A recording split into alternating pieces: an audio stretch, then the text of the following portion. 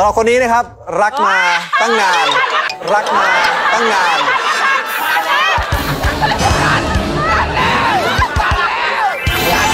โอเค โอเค โอเค โอเค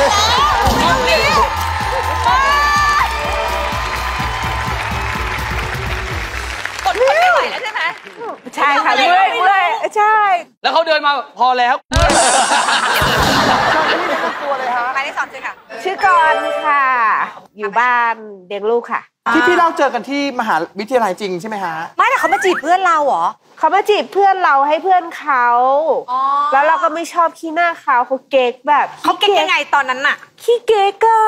ตอนนั้นเป็นดาราย่างเจฟฟี่ตอนนั้นเป็นดาราย่างตอนนั้นเป็นแล้วอ่าก็เท่เลยเดินใช่หาส่วนใหญ่ก็เป็น VJ อะไรเงี้ยอ่าใช่ใช่ครับผมก็ตอนนั้นเราก็ไปจีบแบบเพื่อนเพื่อนเราให้ไปจีบเพื่อนเขา ก็เลยไปทักแบบเออให้ขอเบอร์เพื่อนเธอให้หน่อยได้ไหมอ่าอ่าฮะไม่รู้จักกันอืม เขาก็เหมือนแบบแซลสไตล์เขาอะแบบเอ่อจะขอให้เพื่อนหรือขอให้ตัวเองกันแน่อะไรอย่างเงี้ยอ่า ก็เลยแบบไม่ค่อยชอบกัน แล้วที่พี่บอกว่าแบบจีบจีบเราป้าอะไรเงี้ย ใช่ก็บอกว่างั้นมาจีบเราไหมอ่า ตอนนั้นเราคิดอะไรคือหมัเด็นกนั่ไส้งอยู่นะข้างๆค่ะ เด็กนั่งอยู่อ๋อข้างเราอยากแค่อยากกวน คือเขาก็ก็หมั่นไม่หรไส้อกกัพี่นกรณ์น่าต้องมีใจอยู่บ้างอะแหละแอนแน่แล้วยังไงเห็นบอกว่ามีบังเอิญไปเจอกันอีกที่บ้านของคุณกรณ์ที่บ้านคุณเจฟเอาบ้านค่ะคุณเจฟฟี่ใช่น้องสาวสองคนไปเรียนภาษาอังกฤษที่บ้านพี่เจฟพ่อแม่ก็เลยแบบเจอกันแล้วก็พ่อแม่ก็เหมือนเป็นแบบพ่อสื่อแม่สื่อแบบอะก็เรียนที่เดียวกันนี่เอแบกเหมือนกันอ่าเราเจอหน้าเขาแวบแรกก็บอกอ้าวนี่นี่อ้าวนี่นี่นะครับ โอ้ยพี่เฮ้ยเหมือนละราคไม่ชรอบเลยอะเหมือนละครเลยนะอ่าละครเลยอะไม่เหมือนในเหมือนละละครแล้วเลคุณยกรณ์เจออีกครั้งหนึ่งแล้วรู้สึกไงบ้างนี่นี่อะก็เหมือนกันแบบไม่ชอบที่หน้ากัน แต่เหมือนแบบพ่อแม่ก็พาน้องไปกินไอติมไปอะเอาตังค์ไปอะเอาไปอ่าก็เจอกันบ่อยๆ เจอกันทุกสัปดาห์ ซึ่งวันนั้นเราก็ไม่ได้เอาตังค์ไปกินไอติมหรอกเราพาน้องไปไหนคะ โรงแรม โรงแรมไม่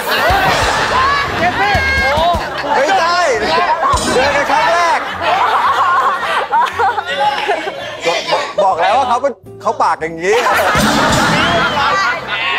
ก็คือเจอกันทุกสัปดาห์จนสารสัมพันธ์กันยังไงฮะ มันเริ่มรู้สึกเออว่าใครใครใช่ไม่รู้แล้วสึกต่อกันก่อน จริง ๆ หลังจากได้ไปกินข้าวไปกินไอติมกันก็ได้คุยกันแล้วก็แบบเออแล้วเออก็ก็คุยได้นะเขาก็เขาก็น่ารักดี แล้วก็ยิ่งเจอกันบ่อยๆ เจอกันบ่อยๆอย่างเงี้ยครับก็เลยแบบสนิทกันแล้วก็ตั้งแต่ตอนนู้นน่ะปี4หนึ่งอ่าก็20 20กว่าปีแล้วนะ แล้วยังไงได้ข่าวว่าคุณเจฟฟี่ต้องไปเรียนต่อที่อเมริกาพอเรียนจบแล้วใช่ไหมคะ ใช่ ก็คือ ธรรมดาวัยรุ่นเนอะมันก็จะมีคบๆเลิกๆบ้างบางจังหวะก็ไปเรียนที่ซิดนีย์เหมือนกันเออก็เลยมีระยะห่างไม่แล้ว keep ความสัมพันธ์กันยังไง โทรคุยกันหรือรู้ว่าตอนนั้นแบบไม่มีโทรศัพท์ อีเมลอีอีเมเมลลอีเมล ใช่ต้องส่งอีเมลหากัน แต่ก็หลังตอนหลังจากที่จะมาคบกันรอบสุดท้ายเราก็จะแบบเขาเรียนโทที่กลับไปเรียนโทที่ออส เราก็จะบินไปแบบ ถ่ายละครในช่วงว่างจากละครอะไรเงี้ยเราก็จะบินไปแบบไปสักเดือนหนึ่งปุ๊บแล้วก็กลับมา ซึ่งสถานะตอนนั้นคือเป็นแฟนกันเป็นแฟนกันแล้ก็วคือยังคบกันอยู่คบกันนานขนาดไหนถึงตัดสินใจแต่งงานฮะ9 ปีสิบปีเก้าปีอ่าแล้วตอนที่เขาเป็นดาราก็ไปเรียนกันไม่หึงบ้างเหรอหึงไหมขี้หึงมากเลยค่ะ มีแบบว่ามีแบบรุ่นพี่คริสเตียนของกระพลชวนไปนวดได้ข่าว ตอนที่ภรรยาคลอดลูกเหมือนเข้า ICU ใช่ไหมน้ำท่วมปอดอะ CCU CCU ใช่อ่า CCU คืออะไรอะคือปอดเชื้อหนักอะ ICU ห้องอ๋อที่หนัแบกบกว่า ICU เหรอ ห้องกระจกที่ปิดปิดเชื้อ คือตอนนั้นมันห้องปลอดเชื้อ ไข้หวัด 2009 ครับ ใช่ไหมอ่าน้องคลอดออกมาปั๊บเขาเนี่ยเข้าห้อง CCU เลย ต้องวิ่งไปดูลูกชั้นหนึ่งวิ่งไปดูเขาชั้นหนึ่งแล้วหมอก็บอกทำใจนิดนึงนะ 50 50อะไรเงี้ยอ่า ความรู้สึกเราเป็นยังไงอะ เราลูกเพิ่งคลอดตอนนั้น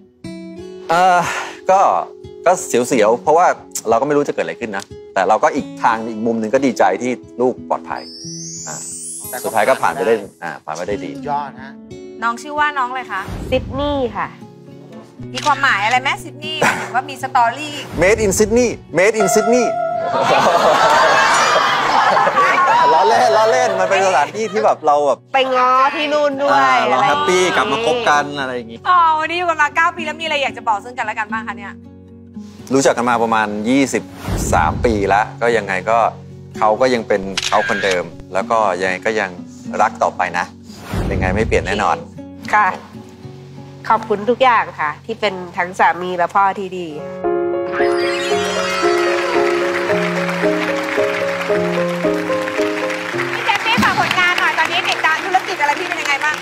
ถ้าคิดถึงกันก็เข้าไปดูตอนนี้ทำเพจกับอ่าแล้วก็ Facebook Bicycle Diary อ่าเป็นเรื่องเกี่ยวกับจักรยาน ใครที่ชื่นชอบกีฬาจักรยานก็เข้าไปพูดคุยเข้าไป